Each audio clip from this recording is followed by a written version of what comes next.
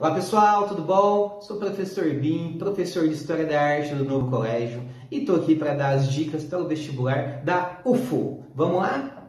Bom, a UFO é, não tem uma tradição de questões voltadas para a História da Arte. Isso tem acontecido nos últimos anos aí, tendendo e acompanhando uma tendência dos outros vestibulares, inclusive do Enem, é, que isso é muito bom.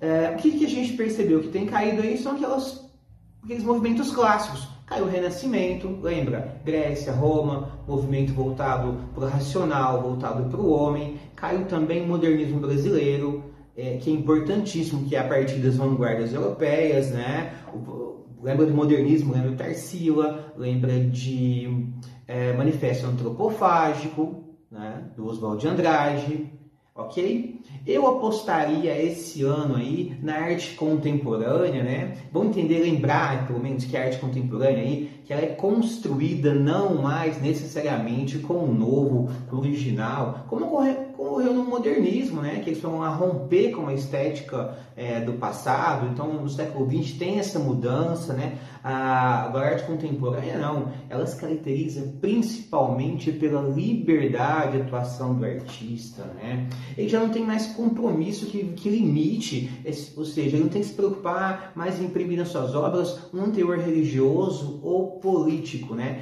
E dentro aí da arte contemporânea, vamos falar da arte conceitual, considera o conceito é a base da obra de arte, né? Ela é superior à obra concebida. E aí vai fazer é, um link lá com o Redmade, lá dos dadaístas, lembra? Do Marcel Duchamp.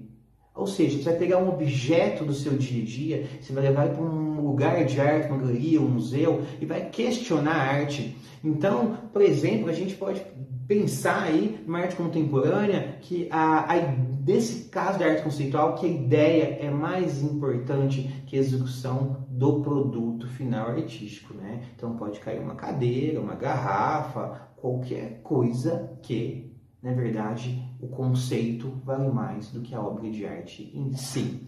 Vocês estão bem preparados? A gente está aqui torcendo para vocês. Então, manda ver essa prova aí. Vamos arrebentar. Beijo do Binho. Até mais.